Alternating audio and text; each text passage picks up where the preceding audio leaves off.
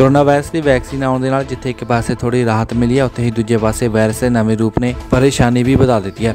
Bloomberg ਦੀ ਇੱਕ report ਦੇ ਮੁਤਾਬਕ London School Hygiene and Tropical Medicine ਦੇ Centre for Mathematical Modelling of Infectious Diseases ਦੇ ਇੱਕ ਅਧਿਐਨ ਵਿੱਚ ਪਾਇਆ ਗਿਆ ਹੈ ਕਿ ਕੋਰੋਨਾ ਵਾਇਰਸ ਦਾ ਨਵਾਂ ਰੂਪ ਬਾਕੀ ਸਟ੍ਰੇਨ ਦੀ ਤੁਲਨਾ ਵਿੱਚ 56% ਤੱਕ ਜ਼ਿਆਦਾ ਸੰਕਰਾਮਕ ਹੈ।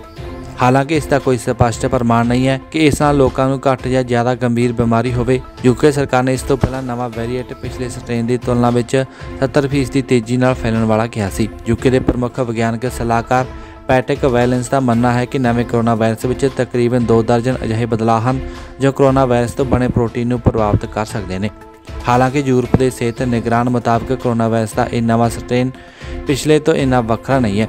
ਕਿ ਫਾਈਜ਼ਰ ਬਾਇਓਟੈਕ ਦਾ ਬਣਾਇਆ ਗਿਆ ਟੀਕਾ ਇਸ ਤੇ ਅਸਰ ਨਾ ਕਰ ਸਕੇ। ਆਸਟ੍ਰੇਲੀਆ, ਡੈਨਮਾਰਕ ਅਤੇ ਸਿੰਗਾਪੁਰ ਦੇ ਵਿੱਚ ਵੀ ਕਰੋਨਾ ਦਾ ਇਹ ਨਵਾਂ ਸਟ੍ਰੇਨ ਮਿਲਿਆ ਹੈ। ਬਿਊਰੋ ਰਿਪੋਰਟ ਆਵਾਜ਼ੇਕਮ ਟੀਵੀ।